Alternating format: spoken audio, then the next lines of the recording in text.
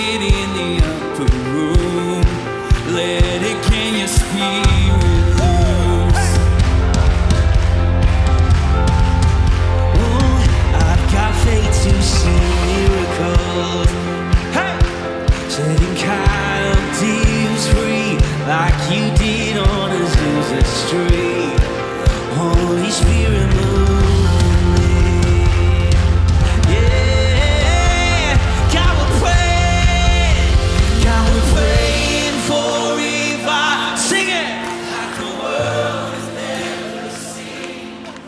with schemes of hell and darkness shall be crushed beneath your feet.